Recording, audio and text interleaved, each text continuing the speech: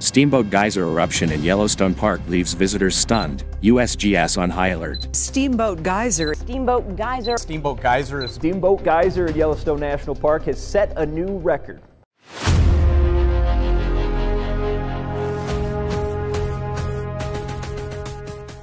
Yellowstone National Park, known for its geothermal wonders, witnessed a breathtaking and alarming event as Steamboat Geyser, the world's tallest active geyser, erupted with extraordinary force.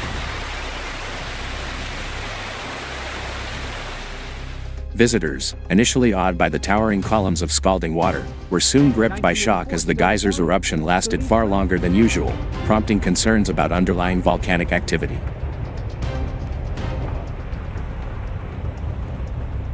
The U.S. Geological Survey, USGS, has since raised its monitoring efforts, expressing heightened concern over the unexpected power of this latest eruption. A spectacular yet unsettling display. Onlookers described the scene as both mesmerizing and terrifying. Steamboat Geyser shot boiling water nearly 400 feet into the air, accompanied by a deafening roar that reverberated through the surrounding forests. It felt like an explosion beneath our feet, said Sarah Thompson, a tourist from California. The ground shook, and the steam was so thick you couldn't see more than a few feet ahead.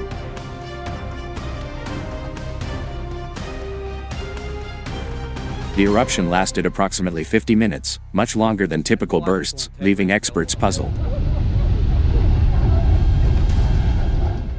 The immense heat created shimmering waves in the air, while ash-like mineral deposits settled on the ground, further adding to the eerie atmosphere. USGS responds with urgency. USGS scientists quickly mobilized after detecting unusual seismic activity preceding the eruption. Dr. Emily Carter, a senior volcanologist with the Yellowstone Volcano Observatory, stated, this eruption displayed unprecedented intensity, suggesting possible changes in the underground hydrothermal system.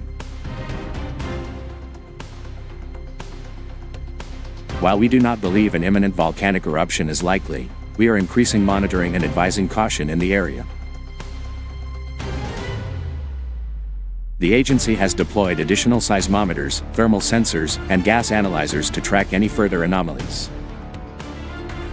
Drones were also dispatched to capture thermal imagery and assess potential ground deformation. Scientific puzzles and concerns. Steamboat Geyser's behavior has perplexed scientists for years, with its eruptions varying from days to decades apart. However, since 2018, it has become more active, prompting questions about potential links to Yellowstone's massive supervolcano. The geyser's unusual activity coincides with minor but frequent earthquakes in the region, Geologists are investigating whether rising magma or shifts in subterranean water channels could be influencing this behavior. Recent measurements have indicated a slight uptick in ground deformation near the Norris Geyser Basin, raising further questions about potential subterranean changes.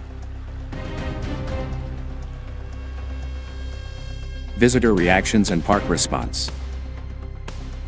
Park authorities have cordoned off areas surrounding Steamboat Geyser to ensure public safety.